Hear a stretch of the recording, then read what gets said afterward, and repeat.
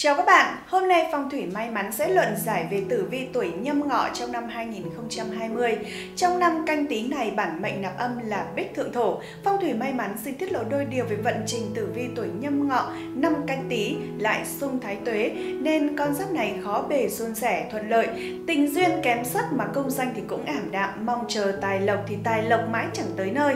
Tử vi 2020 cho thấy trong năm tuổi nhâm ngọ xung thái tuế, nên phong thủy may mắn mắn, tặng miễn phí cho bạn Thái Tuế Phủ làm bùa may mắn trong năm 2020. Các bạn hãy liên hệ với Phong Thủy May Mắn để nhận được phần quà này nhé. Đầu tiên thì hãy cùng Phong Thủy May Mắn khái quát chung về tuổi nhâm ngọ trong năm 2020. Con giáp thuộc niên mệnh này bản mệnh nạp âm là Dương Liễu Mộc, có ngày sinh từ 12 tháng 2 năm 2002 đến ngày 31 tháng 1 năm 2003. Đầu tiên thì chúng ta hãy cùng xét đến nam mệnh. Xét về phương diện gia đình, cung xung chiếu tử vi tuổi nhâm ngọ nam mạng 2020 có các sao vượt các giải thần thanh long quan đới, điếu khách, quả tú, điệu võng. Đây là bộ sao chủ về gia đạo bất hòa, tình cảm không được tốt. Ra ngoài thì chú ý cẩn thận. Cung nhị hợp tử vi tuổi nhâm ngọ năm 2020 nam mạng có các sao đào hoa, phúc đức, thiên hỷ, mộc dục. Đây là bộ sao chủ về trong nhà có tin vui, tuy nhiên thì chú ý trong họ hàng có tang. Năm nay là một năm không được tốt về tình cảm đối với tuổi nhâm ngọ, luôn có sự bất đồng quan điểm trong lời nói và hành động. Còn xét về phương diện sức khỏe năm 2020, trong năm nay thì tuổi nhâm ngọ nên chú ý về sức khỏe đau ốm lâu khỏi, chân tay có tỉ vết. Vận trình sức khỏe của con giáp này trong năm 2020 không mấy lý tưởng.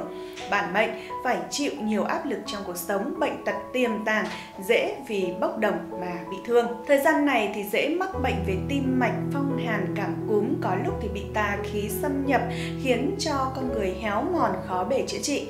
Thủy khí vượng là lời cảnh báo con giáp này không nên đến những nơi ẩm ướt, tối tăm hay là có tà khí, có thể sẽ vướng họa vào thân hoặc tổn thương đến cơ thể.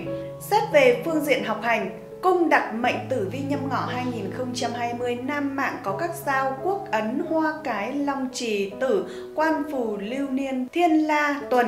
Đây là bộ sao chủ về việc học hành không được tốt, có sự sao nhãng và kết quả thi cử không được cao. Trong năm tuổi nhâm ngọ cần tập trung nhiều vào việc học hành thì mới mong đạt được kết quả như ý và học thêm được nhiều môn khác. Người cầm tinh con ngựa cũng cần phải thận trọng trong việc học hành. Để tài lộc tăng, hãy sử dụng bát bảo tâm kinh. Bát bảo tâm kinh là vật phẩm phong thủy được thiết kế hai mặt bao gồm mặt trước là hình tượng tám bảo vật của nhà Phật tượng trưng cho sự bình an may mắn, mặt sau là bát nhã tâm kinh và ngũ bộ chú giúp gia tăng phúc đức phúc phần.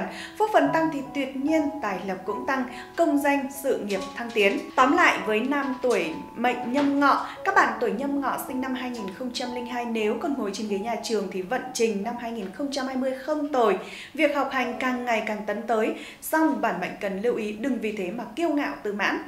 Trong giờ học thì phải nghiêm túc nghe giảng, cố gắng bồi dưỡng kiến thức, dùng năng lực học tập vượt trội của mình để nâng cao thành tích. Ngoài giờ thì cần tìm hiểu, khám phá thêm các kiến thức khác, phát huy tiềm năng còn chưa khai phá. Song con giáp này cần nhớ phải chú ý sắp xếp thời gian biểu cho hợp lý. Học phải đi đôi với hành. Ngoài việc học kiến thức thì còn phải tập luyện thể dục thể thao, tiếp xúc nhiều hơn với xã hội. Thời điểm này, bản mệnh có những thay đổi về tâm lý, dễ xuất hiện trạng thái bất mãn, phản nghịch cha mẹ nên dành thời gian lưu tâm đến những thay đổi về tâm sinh lý của con để kịp thời hướng về đường chính đạo. Không nên yêu đương quá sớm cũng chớ dành quá nhiều thời gian cho các thiết bị điện tử, thức khuya, thậm chí là thức thâu đêm sẽ ảnh hưởng nghiêm trọng tới sức khỏe về sau nên giữ chế độ sinh hoạt lành mạnh, điều độ để tinh thần, sức lực lúc nào cũng sung mãn. Thứ hai, Chúng ta cùng xét đến nữ mệnh, xét về phương diện tình cảm, cung xung chiếu tử vi, tuổi nhâm ngọ, Nữ mạng năm 2020 có các sao. Phượng các giải thần, thai, phục binh, điếu khách, quả tú, địa võng. Đây là bộ sao chủ về tình cảm không được tốt, cẩn thận bị đưa vào chồng trong chuyện tình cảm. Tình cảm không được tốt, có sự bất hòa, chia ly. Tiền bạc thì tuy chưa làm ra bao nhiêu, nhưng phải biết cách chi tiêu cẩn thận. Cung nhị hợp tử vi tuổi nhâm ngọ 2020 nữ mạng có các sao, đào hoa phúc đức thiên hỷ dưỡng. Đây là bộ sao chủ về trong nhà có chuyện buồn đưa tối. Đây là bộ sao chủ về trong nhà có chuyện buồn đưa tới người già, ốm yếu. Cung tam hợp tử vi nhâm ngọ 2020 nữ mạng có các sao lộc tồn, bác sĩ, tràng sinh, bạch hổ, thái tuế, mộ. Đây là bộ sao chủ về trong người có bệnh và có sự di chuyển nơi ở. Xét về phương diện sức khỏe, trong năm nay nữ mệnh phải chú ý tuyệt đối về sức khỏe, nhất là bệnh về khí huyết hay phải đặc biệt chú ý miền sông nước cẩn thận. Xét về phương diện học hành, cung đặt mệnh tử vi nhâm ngọ 2020 nữ mạng có các sao quốc ấn, hoa cái, long chỉ, đế vượng, tướng quân, hoa phù, lưu hà, thiên la tuần. Đây là bộ sao chủ về có tin vui, đường học hành, tuy nhiên ra ngoài thì chú ý quan pháp lý có tin vui về đường học hành, đạt kết quả cao và học thêm được nhiều môn khác. Cung đặt mệnh tử vi nhâm ngọ 2020 nữ mạng có các sao quốc ấn, hoa cái, long trì, tử, quan phù, lưu hà, thiên la, tuần. Đây là bộ sao chủ về việc học hành không được tốt, có sự sao nhãn và kết quả thi cử không được cao. Trong năm nay thì tuổi nhâm ngọ cần tập trung nhiều vào việc học hành thì mới mong đạt được kết quả như ý và học thêm được nhiều môn học. Để công việc học hành được suôn sẻ gặp ít sóng gió, khuyên nữ mệnh nhâm ngọ nên thỉnh bát bảo tâm kinh và vòng tam hợp quý nhân. Vòng tam hợp quý nhân dùng để chiêu quý nhân. Khi được quý nhân giúp đỡ thì công việc hanh thông thuận đà phát triển. Bát bảo tâm kinh đem lại bình an, may mắn, gia tăng phúc lộc. Khi phúc lộc tăng thì sự nghiệp học hành cũng theo đà mà phát triển. Tóm lại, nhìn chung tử vi tuổi nhâm ngọ năm 2020 nữ mạng là một năm khá là vất vả cả mọi việc đều không được như ý. Ra ngoài thì bị người khác lợi dụng, tình cảm thì bị phá hoại.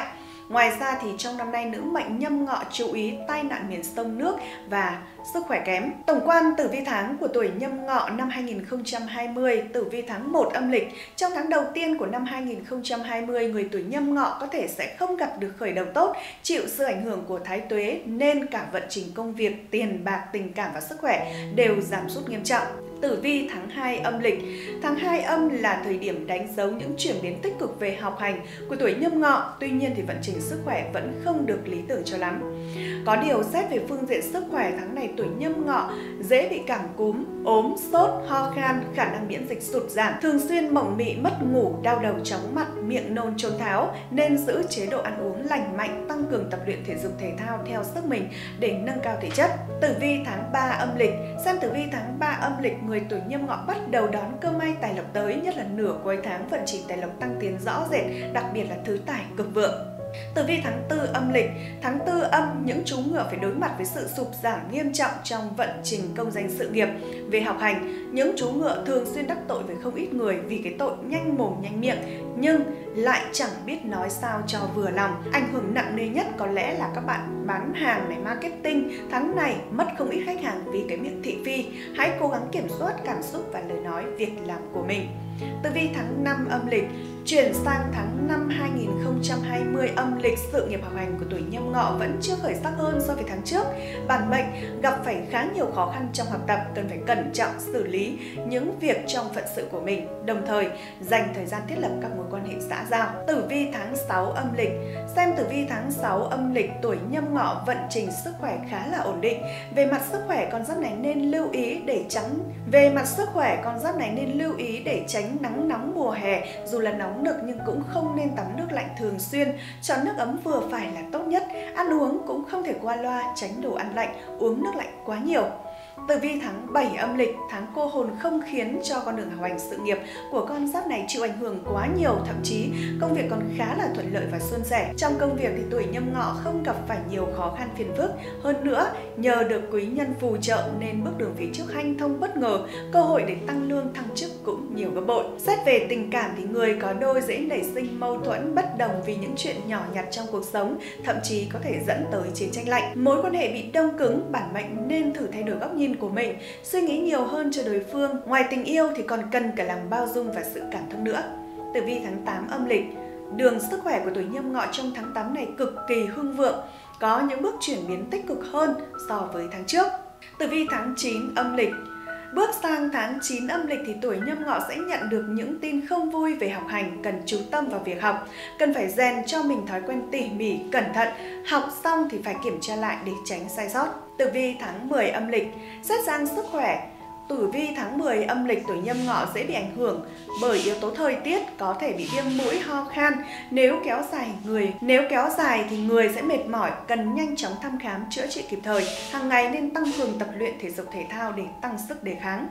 Tử vi tháng 11 âm lịch. Trong tháng 11 âm lịch năm canh tí tuổi nhâm ngọ cả tiền bạc và sức khỏe đều không được như ý. Đặc biệt, sức khỏe thời điểm này khá là tệ, cần phải lưu tâm. Bản mệnh tinh thần xuống dốc dù làm gì thì cũng phải đối mặt với không ít khó khăn chắc trở. Về sức khỏe, nhâm ngọ thường cảm thấy đau đầu, chóng mặt, mất ngủ, ngủ không ngon giấc nên nhanh chóng đi đến cơ sở gần nhất để được thăm khám sức khỏe, tránh những hậu quả đáng tiếc nên cân bằng cuộc sống và công việc, đừng tạo quá nhiều áp lực cho mình. Tử vi tháng 12 âm lịch, tháng cuối cùng của năm 2020 là thời điểm mà con giáp này cảm thấy vận trình xuống gấp trầm trọng, mọi thứ chỉ có tệ hơn chứ chẳng bớt đi chút nào, nhất là công việc và tình cảm đã đi xuống. Tuy nhiên thì cuộc sống ai cũng có những lúc khó khăn, con giáp này nên suy nghĩ lạc quan hơn để đối mặt với hiện thực. Dù làm gì thì cũng phải đặt hết tâm sức vào đó, đừng qua loa đại khái mà mang hậu họa về sau. Như đã hứa ngay từ đầu thì chúng tôi có nói sẽ tặng quà cho các bạn tuổi nhâm ngọ thái tuế phủ làm búa may mắn cho mình. Để nhận quà các bạn hãy liên hệ với chương trình nhé. Vừa rồi Phong thủy may mắn đã tổng hợp và luận giải về tử vi tuổi nhâm ngọ 2020. Cảm ơn các bạn đã quan tâm theo dõi dõi. Để thể hiện quan điểm của mình, các bạn hãy để lại quan điểm cá nhân bên dưới phần bình luận để phong thủy may mắn tiếp tục hoàn thiện và phát triển nhé. Hẹn gặp lại các bạn vào những chương trình sau.